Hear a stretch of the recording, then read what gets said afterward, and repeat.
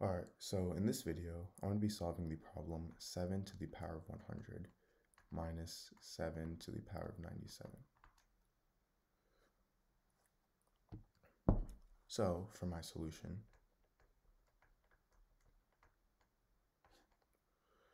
I'm going to rewrite my problem right here.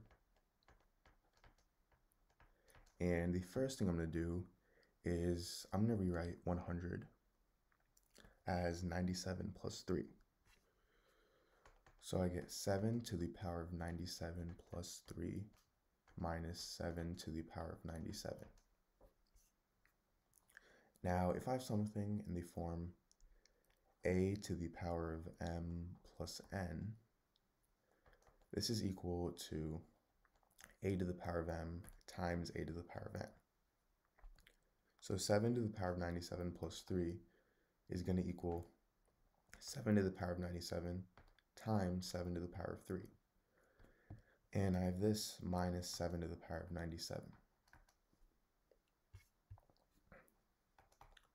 Now from here, notice how both of my terms have 7 to the power of 97 in them.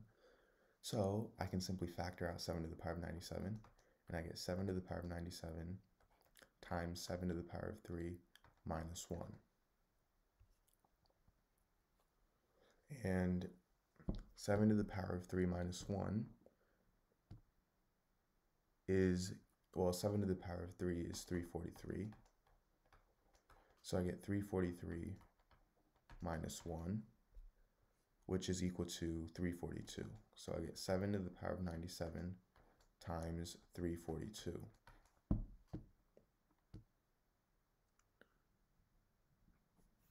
So this is my answer in simplest form.